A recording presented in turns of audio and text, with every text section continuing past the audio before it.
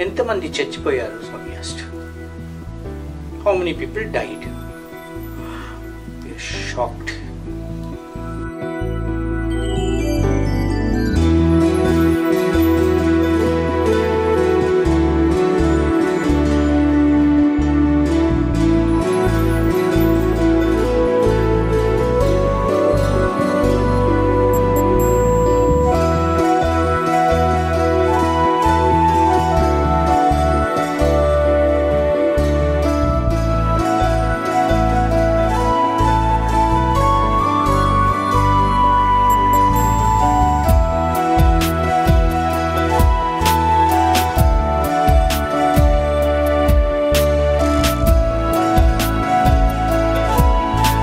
day we were sitting in the bhajan hall. You know, the front door of the bhajan hall, uh, which is just next to the interview room door. Okay, we were sitting there, and you know, uh, when if you go early, you get a chance to sit there, and Swami comes, he will see you, and when he goes inside for interview, he'll see you. When he comes out from interview, he'll see you, and there are chances of uh, some interaction. So one afternoon, in those days, Swami used to give darshan around uh, 3.30, 3.45 like that. I think it was vacation. Had gone and sat there. And as Swami called a group of devotees, uh, he told them, go inside. And as they were going inside, Swami came inside the bhajan hall and looked at two of us who were sitting. Uh, one person's name is Kannan and myself. And స్వామి ఆస్ట్ హాస్టల్లో ఎంతమంది ఉన్నారు how many people are there in the hostel we told the number some that time it was four fifty year something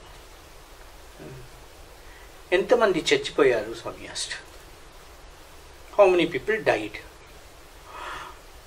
shocked okay then this boy was sitting next to me he said, Swami, when you're there for us, how can we die? He told it with such sincerity, you know, that Swami had started moving towards the interview room because everyone had gone inside, came back and said, "Bangaru, it is not like that. What I meant was, how many people have lost body consciousness? That's what I meant by ఎంతమంది చచ్చిపోయారు so we are both relieved and everything proceeded as usual after that and i think it was about a year later. Um, this boy was involved in an accident. There were a few boys who were coming from Parthi to Brindavan. The thing was the previous night Swami had actually sent word to Parthi that nobody should come to Brindavan. And uh, these boys uh, they were the first batch of the science or something that time. okay so these boys had finished exam earlier than the others. Okay. They had finished that day. And so they all shifted off to the mandir.